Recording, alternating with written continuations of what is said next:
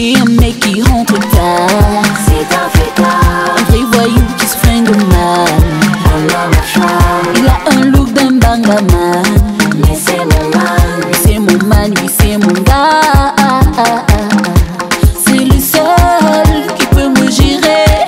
Je n'ai pas envie de le changer. Mon gars à Louis, il sait comment me gérer. Allez raconter à ce jour, je joue pas.